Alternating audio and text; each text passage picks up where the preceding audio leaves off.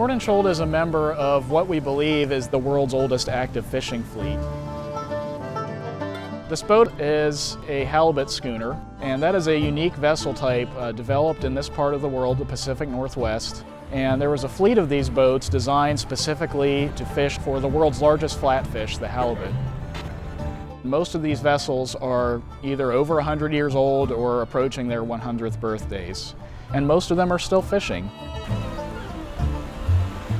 Northwest Seaport has added Tordenskjold to its historic fleet to represent our commercial fishing industry and the wooden shipbuilding industry that produced that and tell that story. It's a great story of sustainability, where our food comes from, about our maritime past, our maritime present and future. It's an important tale.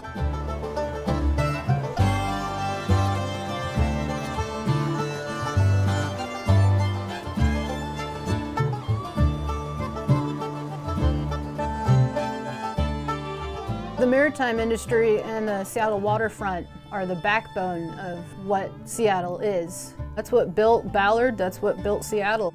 And it's great to have uh, the schooner here at the Northwest Seaport so that people can learn about that. Well, here it is, George. The newest museum ship in the Northwest Seaport Fleet. The 106-year-old Tordenskjold. 100 years of fishing on there. We're gonna get to show her to a lot of visitors. Let's go aboard and take a look. This fishing vessel, Tordenskjold, has a wonderful name because the character it's named after is a story in himself. Peter Janssen Wessel Tordenskjold was a Danish naval hero from the 1690s. He only lived to age 30, but he, in that short time, made a real name for himself in Scandinavia, capturing entire Swedish fleets, and he was given the nom de guerre Tordenskjold, Thunder Shield, from the Danish king, because he was such a force in Scandinavian naval warfare. And way over here in the United States, Norwegian immigrants and Danish immigrants decided to name their boat after this legendary naval hero. And this boat really partly tells the story of the deep connection between the Scandinavian fishing community here and their Scandinavian roots back in Norway. These boats were copies of New England schooners. There were three that were brought around to Seattle in uh, 1888.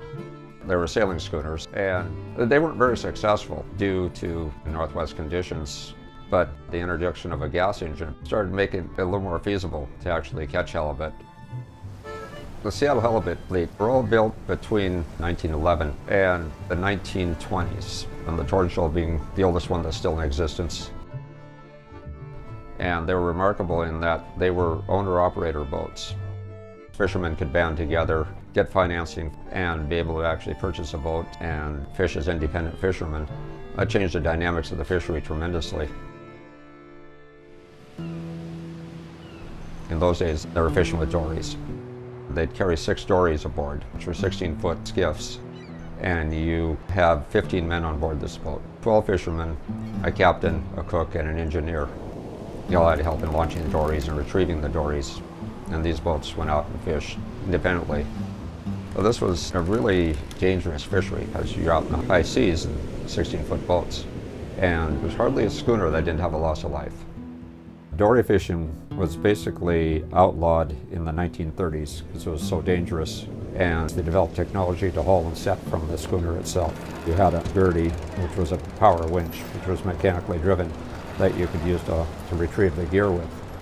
And the gear is a traditional longline gear, which is a line about the diameter of your finger with hooks spaced every 18 feet or so. And these hooks are baited by hand and the gear is anchored to the bottom. They deploy the anchors and buoys off the port side and all the hooks and line over the stern. But then they bring it up here on the starboard side. And you bring the line over the roller into the power gurdy, which is actually what's pulling it up. And then when a halibut comes up alongside the boat, the guy standing at the rail kicks the hydraulics off with his knee there and stops the winch, gaff the fish with a big hook, and you drag it up onto the deck. You've seen those photos of them, they're huge. They're enormous fish. I would not want to fight an angry 300 pound halibut onto the deck. That'd be something. Those guys are tough. Yeah.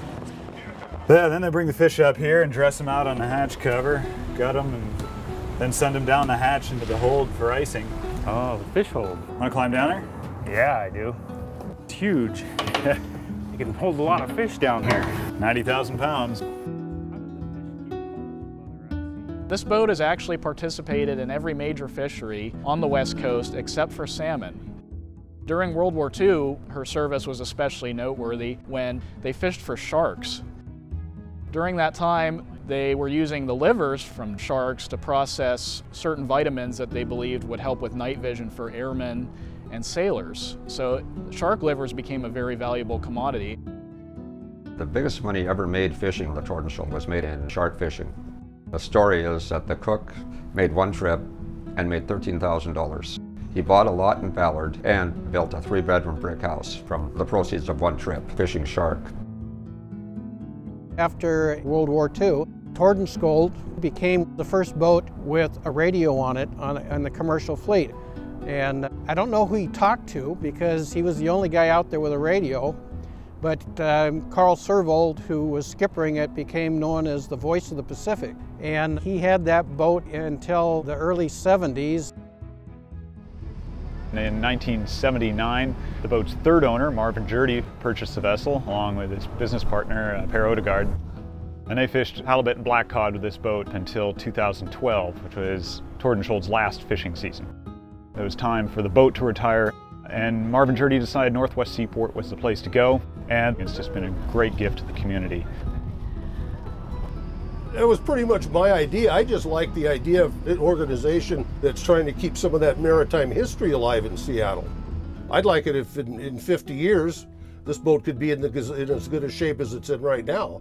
And I just felt that giving it to the seaport was the easiest way to accomplish that. Northwest Seaport's mission is to preserve and interpret maritime heritage materials, specifically ships, to the general public. We acquired the Tordenskjold in 2017 to represent the fishing industry. Now we have an operational vessel that we can take the public out on for educational programs, boat shows, and just to show the flag. Most of the time, unless it's really bad weather, you wouldn't really need these. Another important part of our mission at Northwest Seaport is to provide job skills training and just generally familiarizing younger people with opportunities that are available in maritime industry. And that is an opportunity we offer through our museum ships, which are all historic workboats. I really enjoy these boats and I get a lot out of it being a volunteer.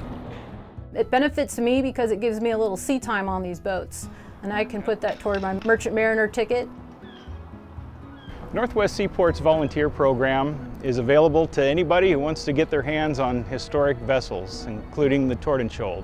Whether it's painting or opening up the vessels for visitors to come aboard and learn a little bit about a vessel that they've never heard of before. Anybody who's interested in volunteering with Northwest Seaport, I would definitely encourage. All right. Quite a boat, isn't it? It is. This is gonna be really fun as we bring people on here, get underway and start going places with her. One of the most exciting volunteer opportunities we have with Tordenskjold is that this boat is operational and we need a crew. So we are putting together a volunteer crew to operate this boat. And it's a great opportunity for people to get to be a part of something so big, something that's been around for so long, be part of this 100 year story and these vessels and the whole history they represent.